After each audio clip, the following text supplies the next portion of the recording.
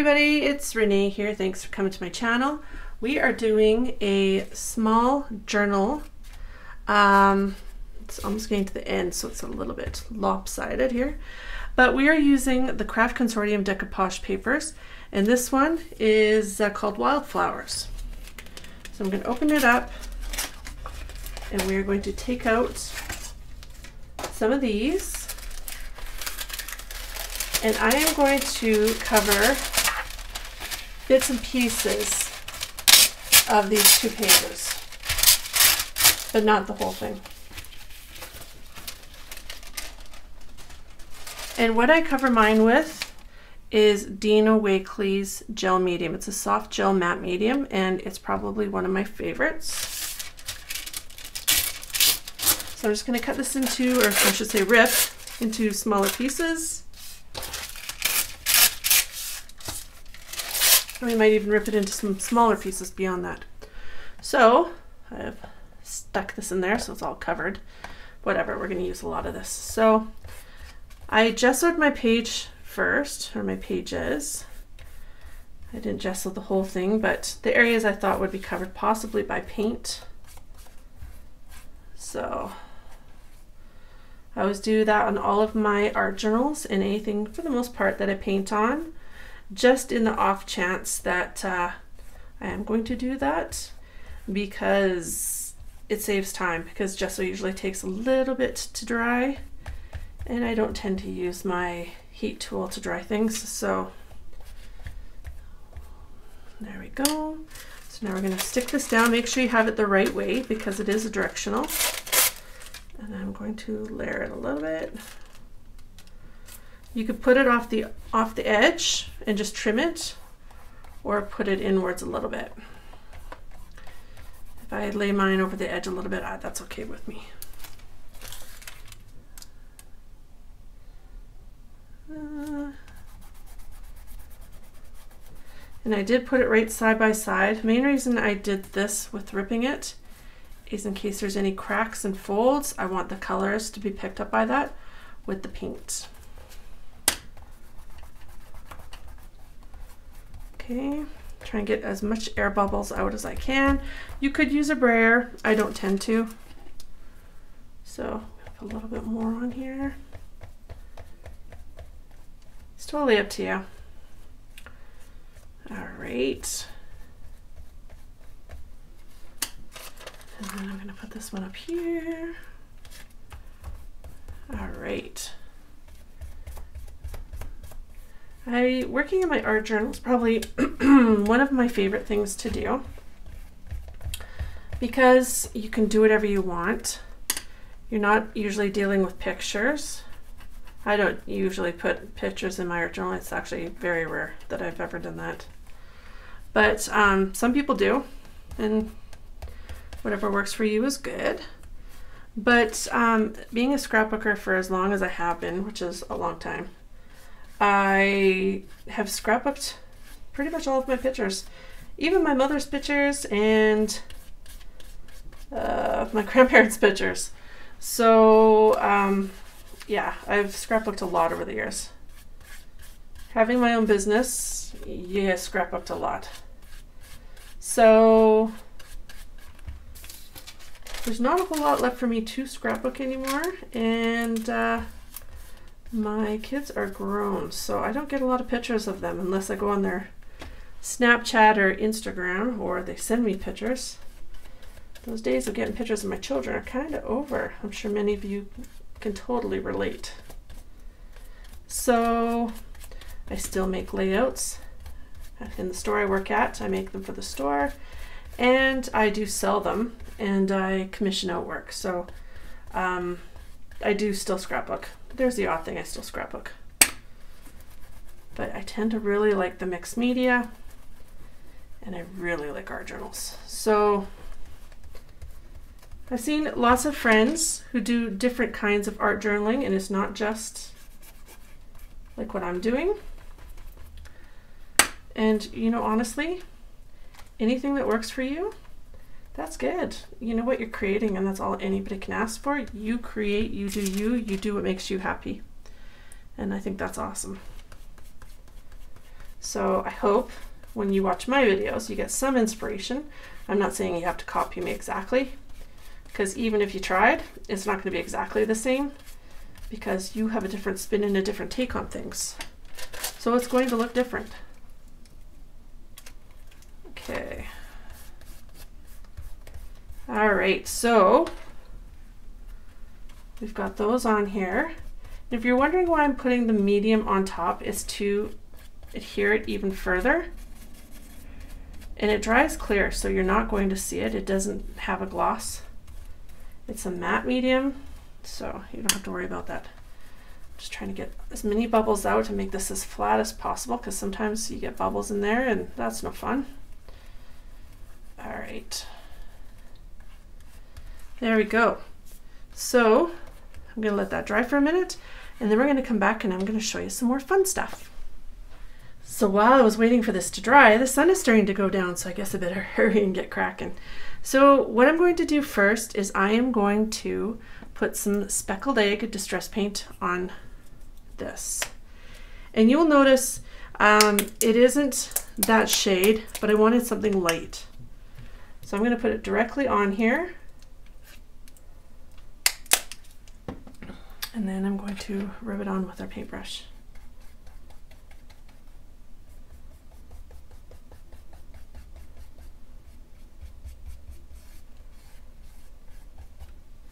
And I probably got way more than I could possibly need. This is runnier than I thought it would be. So that's okay.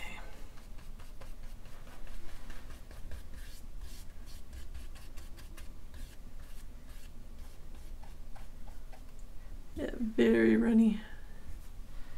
So not sure why it's so runny, but it is.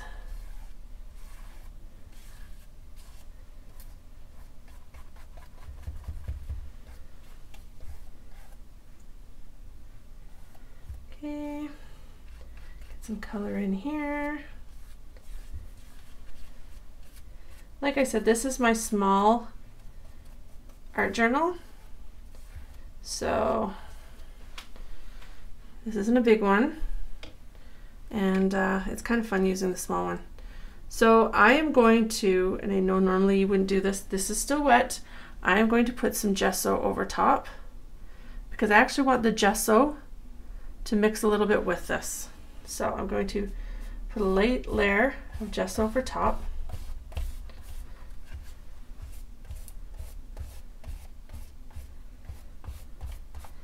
So I'm going to put the gesso over our printed image tissue. And then I'm going to show you what else I'm going to do. So popping that on there.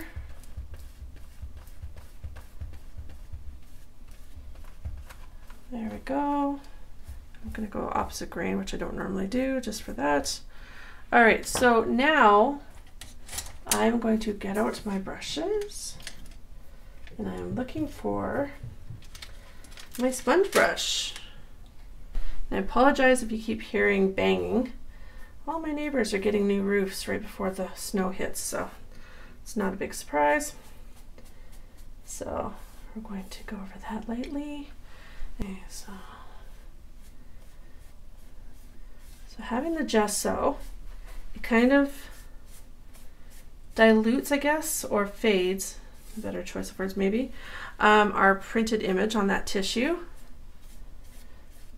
But I also wanted our gesso then to be shaded, so it's a light, light blue. So that is why I'm doing what I'm doing.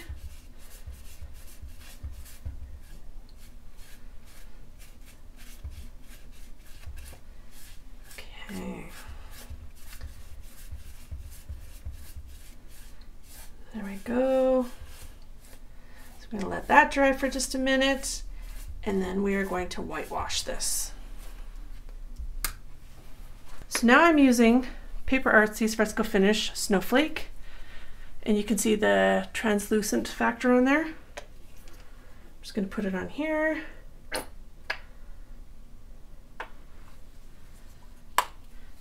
I'm going to show you just to, so you kind of, I guess, tell with these paints. They're both a different shade of white, but one is snowflake and one is chalk. and you can see the opacity of them. So one you can see through and one you can't. So when using Paper Artsy, that's something to always look for. So we're to use our sponge brush again.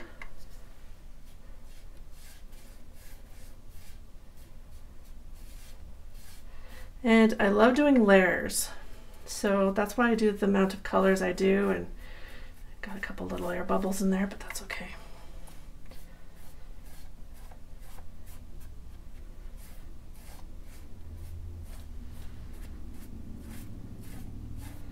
Not completely covering it up, we're just putting some layers over it.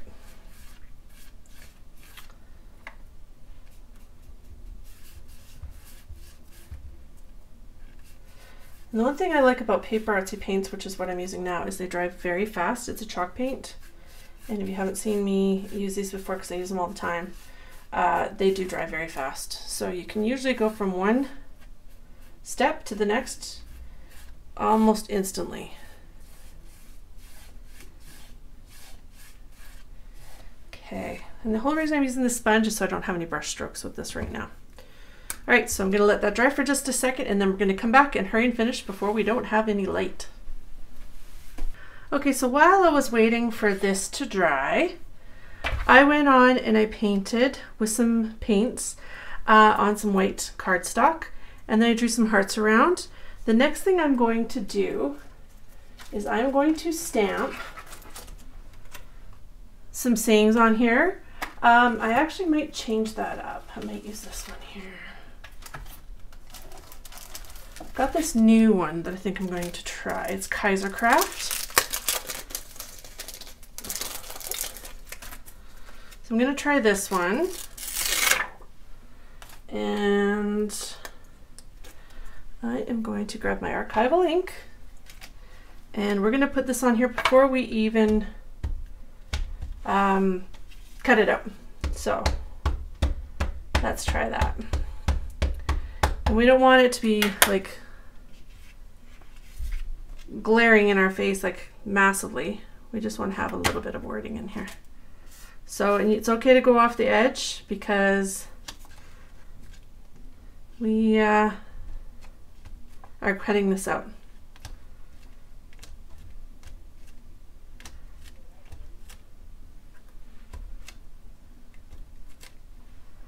So whatever works. I haven't used this one before. Okay, so now I'm going to cut out our hearts.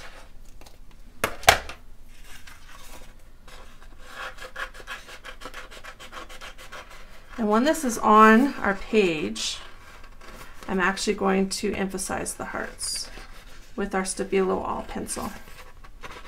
So cut around here. And this is just a very informal, fast art journal page just to show you a way to do something different.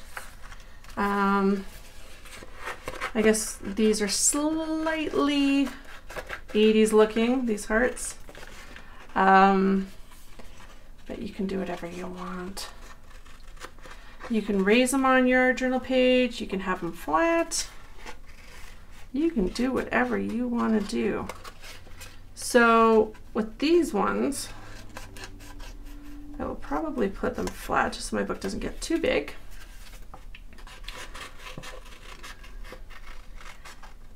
And I will use the rest of this paper that I painted and stuff for my junk journal, bits and pieces.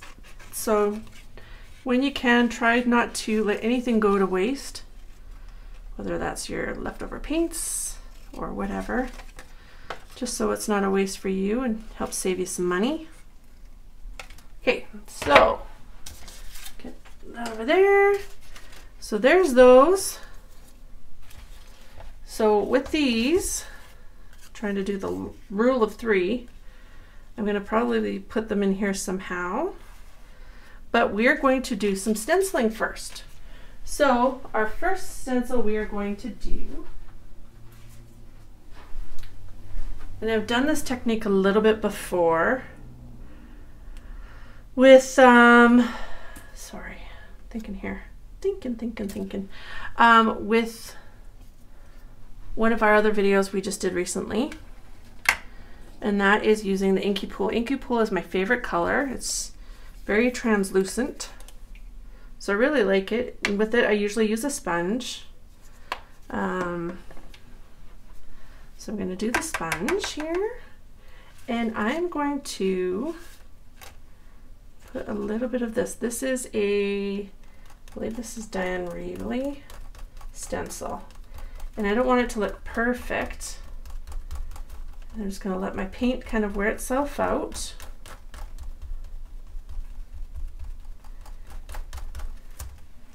So there we go. And then I'm going to do a little bit down in here. You want to have kind of a whitewashed type of look. So, you know, dry brush, I should say. So that's what I'm kind of going for. And then I'll put one over here off the edge.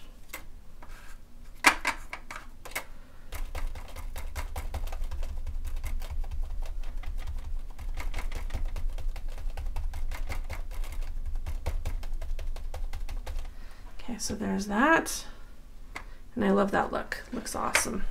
Partly because I love that color. All right, so we are going to use that like so. Um, what I'm going to probably do, and I love to do this, is with my Tim Holtz Distress Crayons, I am going to go around the edge with the crayon and just pull it in. And I think the color I want to do that with Up my blues and greens and purples and stuff. Um, salvage patina would be kind of nice, but I'm thinking I might need something blue. What do you think, friends? Um, almost something along the lines of our inky pool. So what is the closest thing to that? There's not a lot from Tim Holtz. Probably the closest is the Chipped Sapphire. So maybe let's try the Chipped Sapphire. And this was a newer release. It just came out that not that long ago with the three from Tim Holtz. So what I'm going to do is just go around the outside edge like so. And I love this look and you'll probably see this a lot on my art journals. So I'm going to go around like that. There we go. And now I'm going to get my finger wet and move it.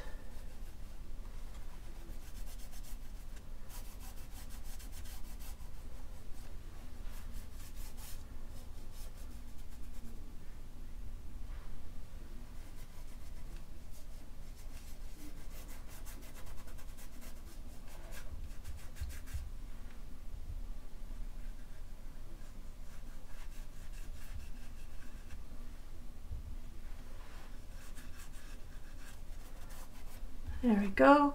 And now with my tissue, I'm just to blot it a little bit.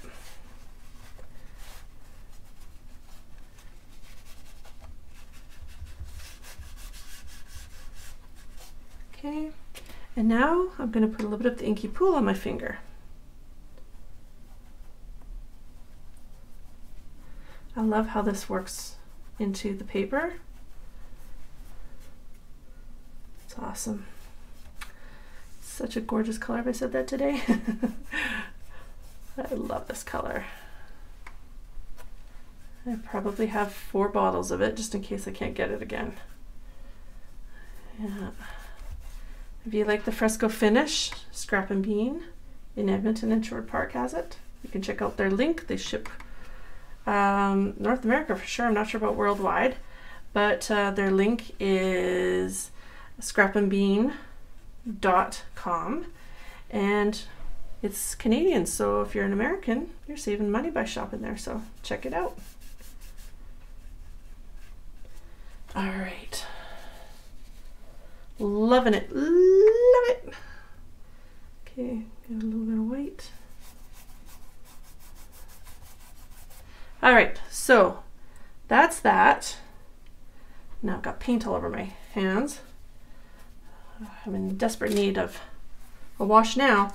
Okay, so now we're going to put our hearts on and uh, we can use the gel matte medium for that. Sun's going down, so I gotta hurry.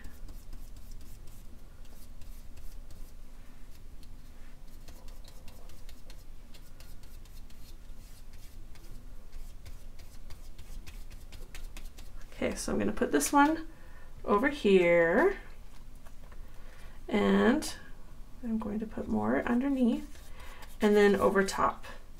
And you can do that because we stamped with an archival ink.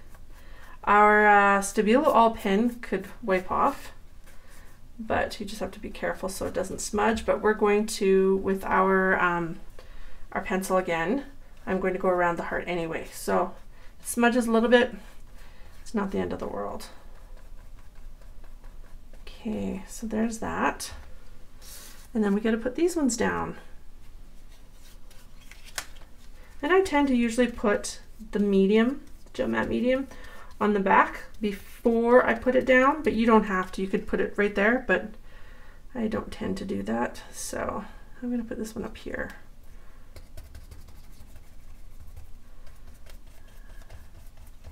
Yeah, so, and we can put a sentiment as well. I'll probably stamp a sentiment this time. So I will probably stamp that. I think the last time I used the Dina Wakley tissue, but I am going to stamp one today. Okay. And we're going to pop that on there.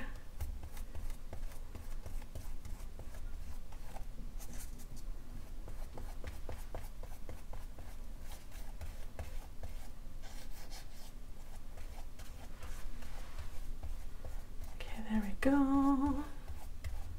Love it. Love it, love it, love it. Okay, so I'm going to hold that like that for a minute.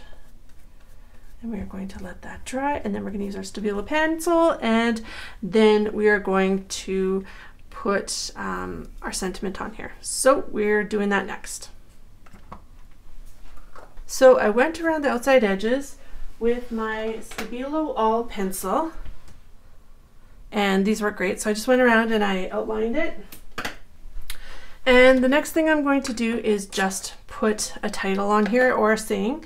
And I'm using the Amy Tangerine stamps. This is document. And they're a little bit bigger than what I plan to use, but it's all good. And we use archival ink in jet black.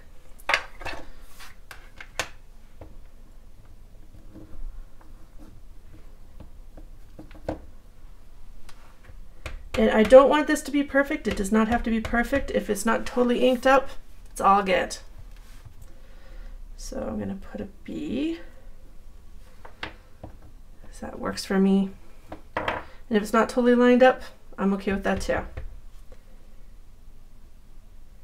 B, C, and I love that look too. I'm not all about the perfect. Loving it. Any idea what it's saying?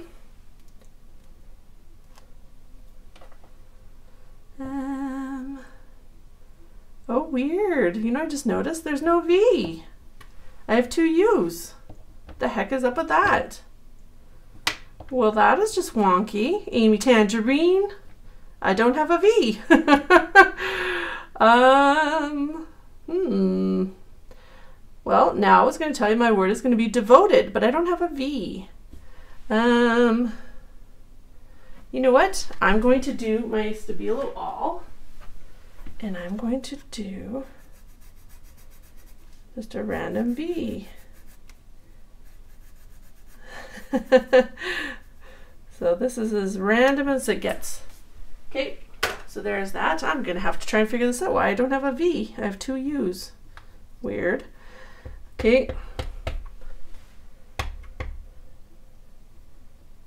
Devo.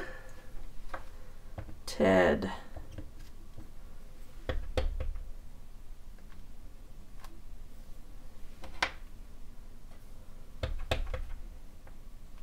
I've never used that before. So I've never used the V clearly. So I didn't notice that that wasn't there. That is just too weird. Okay, so be devoted. And I am going to put uh, hmm, what else can we put in there? I'm going to put, and this is just for me, I'm going to put a B here.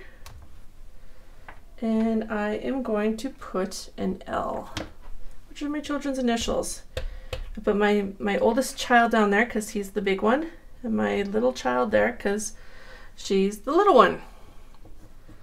So, and then just trying to remind myself. But I mean, I'm devoted to my children, and they know that, but there we go. Kind of like that. So this is our two-page mini journal layout. And you could really do whatever you want. We could put a little something something in there too because it's not finished. Um, you could even put more of the stencil in there and we could still go back and do that. But this is just a little something to kind of get your juices flowing and show you some things you can do. It doesn't take long. Just play around, do the things that make you happy, and have fun. So, you know, again, it's just paper. So if you don't like it, rip it out. I hope you enjoyed this. Don't forget to like my, my pages um, and my videos if you like them and make sure you subscribe and hit that bell notification so you get my videos as soon as they come out. I also have links in the uh, description down below for you to check out my Instagram and my blog and my Facebook page. On the 20th of every month, I have giveaways for people who comment on my videos or subscribe. So check that out as well. So thanks for watching. I hope you enjoyed it. There's lots more coming. Have an awesome day and stay safe.